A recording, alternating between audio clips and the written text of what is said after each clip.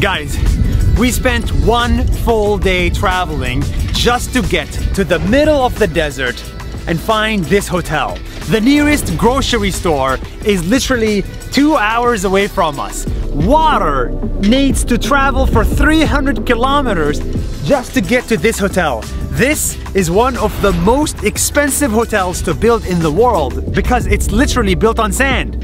For the next few minutes, I want to give you a little bit of a behind the scenes on how this hotel was built, what's inside of it, how do you do it, how do you get the food, how do you get the accommodations, how do you build it in front of sands, what can you do in this hotel, and how many people did it take to build this. This is a video you want to watch about the secret Arab hotel built in the middle of the desert. It's called Qasr Al Sarab.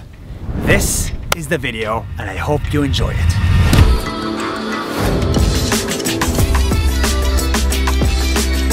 So the color of, of the buildings in the good old days um, is, is when the Arabs have darker shades of brown, I guess, of, of the, the paint. Like this?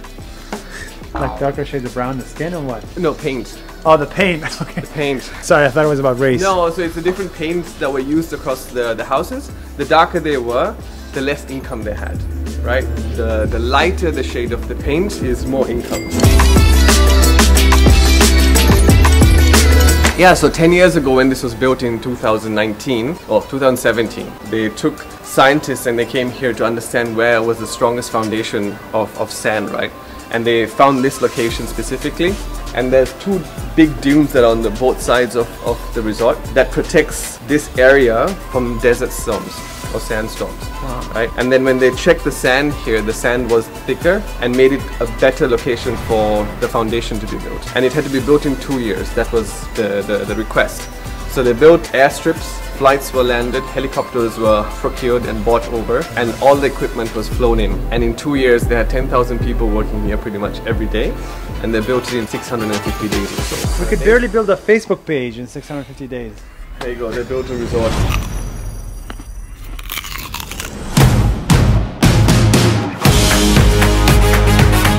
Oh, cucumbers, cool. But the but cucumbers don't grow in the desert. They do when it's in a greenhouse. Over there in the greenhouse. Wow. So these here are our eggplants. Cabbage? And then corn. Corn? over there. Yeah. Well, isn't corn only like in Nebraska or something? You how do you how do you like but it's not like temperature controlled? Uh, no, we actually here we have the water drip irrigation so we can actually give enough water there. Oh, so corn just needs a lot of water. Yes. Arabian Nights. I want to tell you again how terrible it is to find water here. Like it's not easy. Like if you look over there, this used to be a lake a few thousand years ago. You can tell it was a lake because it's like a little bit white. That's like used to be the salt. And then around it, like there was like the mountains or the sand dunes or whatever. But that oasis is dead inside there used to be a well of water and they they you know they built up uh, some wells and there was water in them but now they're dry. So now there's inside there's no water to the sides there's no water anywhere around us there's no water.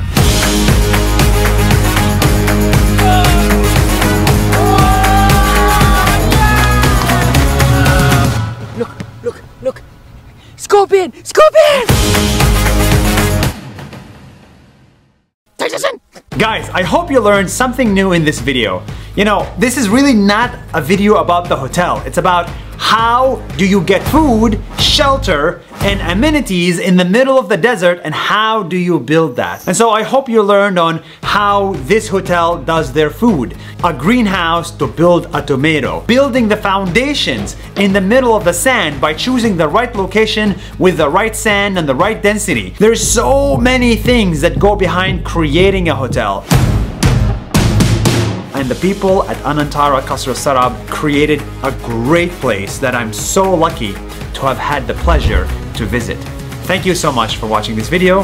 Stay tuned for another one very soon. YouTube! If you like this video, then I think you're gonna love Nas Academy. It's a new online school we just started to give you a voice.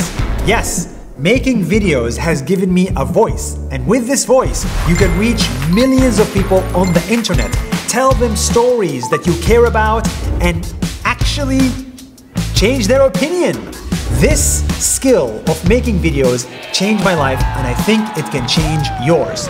Nas Academy has a lot of courses that are live. They're not pre-recorded, so there is real people from the Nas Daily team that teach you how to make videos like we do. Give you your voice that you so desperately need in today's world. If you're a business, if you're an entrepreneur, if you're a family person, you need a voice on the internet and Nas Academy helps you get that voice. Click on the link below if you want to see the courses that we offer. We have very limited spots, so grab yours today. Thank you so much, and I'll see you tomorrow for another video.